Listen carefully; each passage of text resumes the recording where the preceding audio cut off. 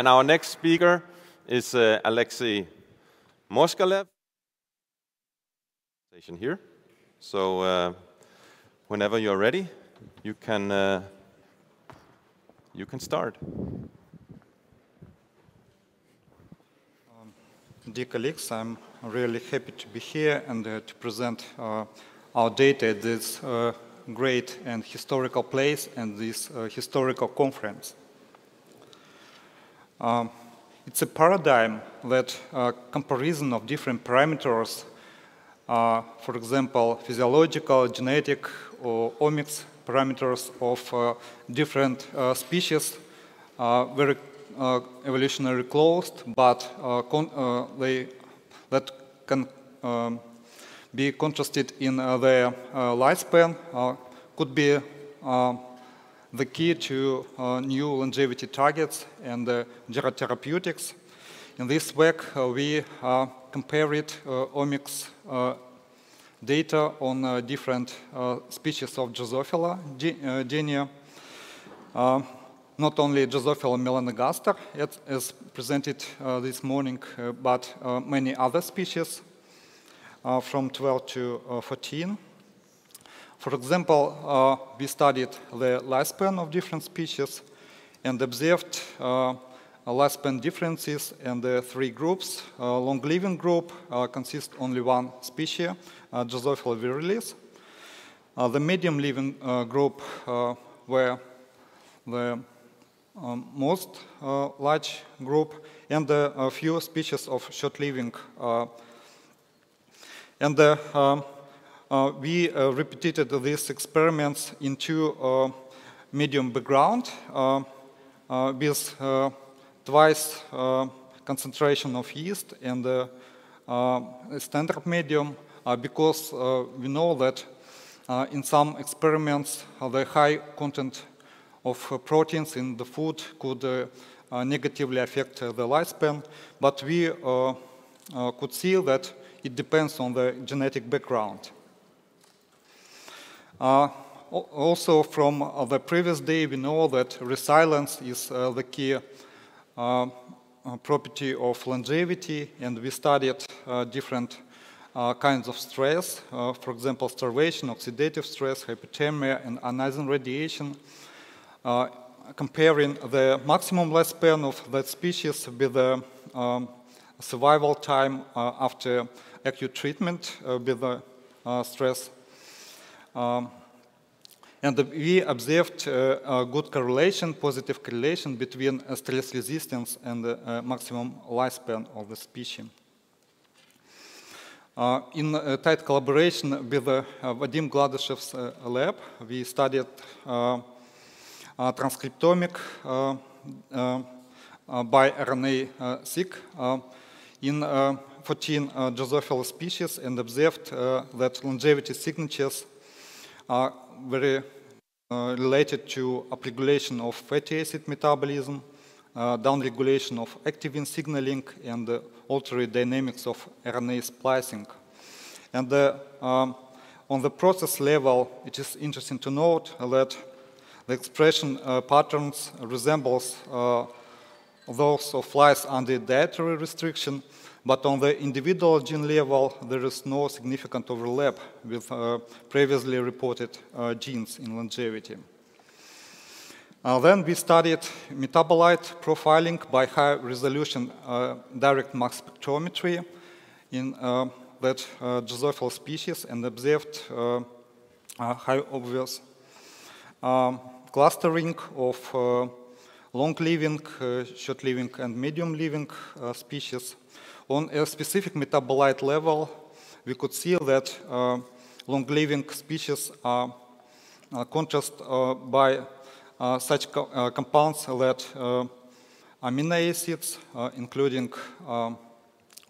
BCAA and other, um, and also fatty acids, and another interesting compounds like L-carnitine, taurine, trehalose, glucose, uh, on a process uh, level, uh, we could see the overrepresentation of amino acyl tRNA biosynthesis, BCAA, arginine, alanine, glutamate, glycine, serine, threonine, uh, that are very related to uh, longevity in many experiments uh, of other colleagues. And also uh, could see uh, carbohydrate metabolism included in the longevity pattern between species.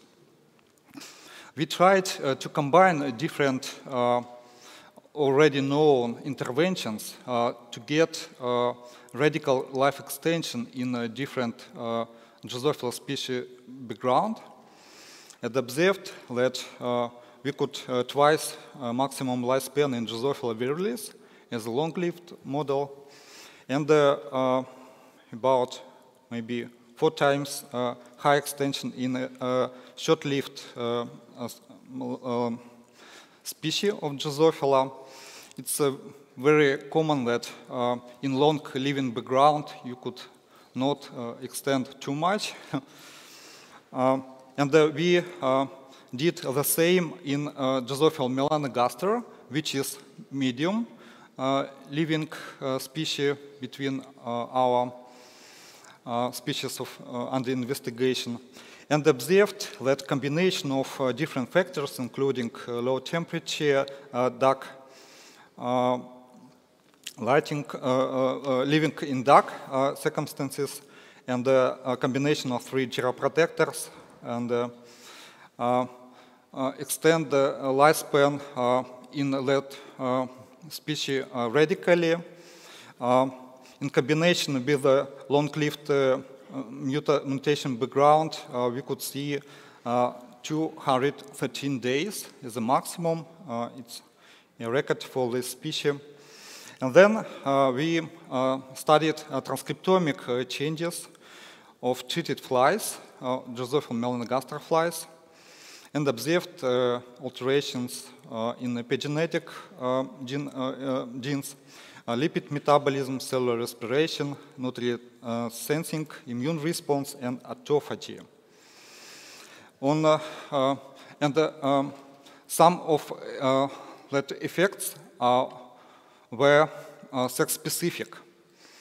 Uh, we could see that in wild-type uh, genetic background, in Drosophila males, after a combination of factors, we could see mostly downregulation of many pathways and only few upregulated pathways, including oxidative phosphorylation, uh, circadian rhythm, and the Hippo mechanosensing signaling pathway. In uh, females of uh, wild-type uh, melanogaster background, we could see both downregulation and upregulation. Uh, it is interesting to know that Hippo signaling also included. In uh, uh, long-living mutant, the combination of factors also downregulated many pathways in males and upregulated uh, the same uh, circadian uh, rhythm uh, and Hippo mechanosensing signaling. In females, uh, we could see uh, mostly upregulation, of, for example, citrate cycle as in females of wild-type background.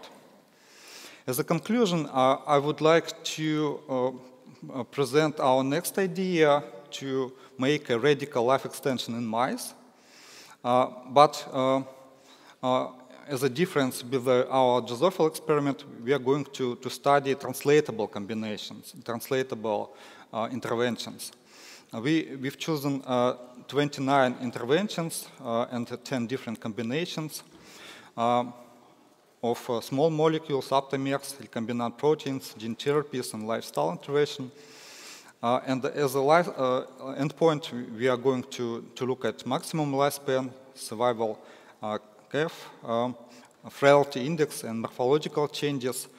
Uh, and uh, we are going to start uh, from old mice of outbred strain, and we are open to discuss the experimental design.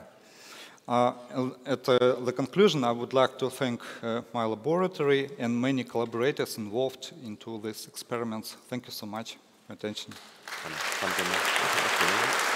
It was a nice dinner.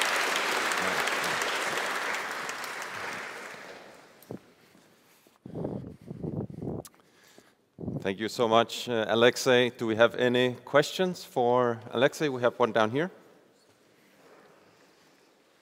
Thanks. Yeah, it's really fascinating seeing um, data from such a huge diversity of Drosophila species.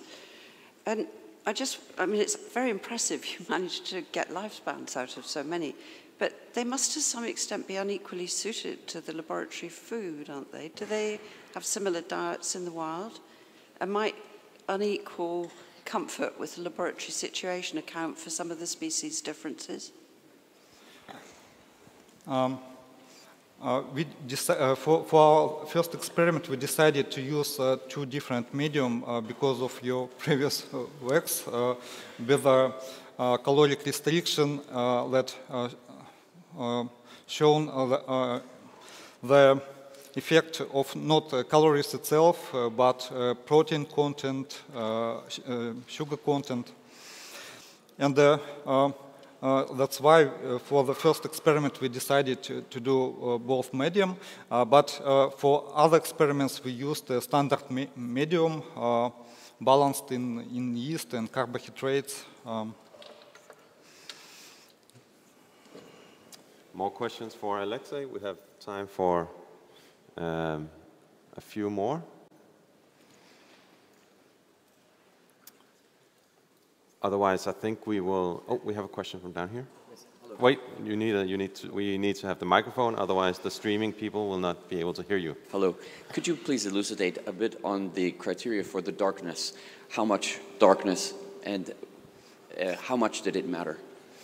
uh, uh, because of uh, our previous studies in Drosophila model, the living in uh, dark uh, circumstances uh, uh, uh, could be beneficial for uh, flight lifespan. Uh, I'm not sure that it's translatable for, for human at all, uh, but for Drosophila it's, it's working. Uh, Yes, uh, the whole day dark, uh, uh, 12 by 12, and the whole day light. Uh, we compare it and observed that uh, whole day dark uh, um, is most beneficial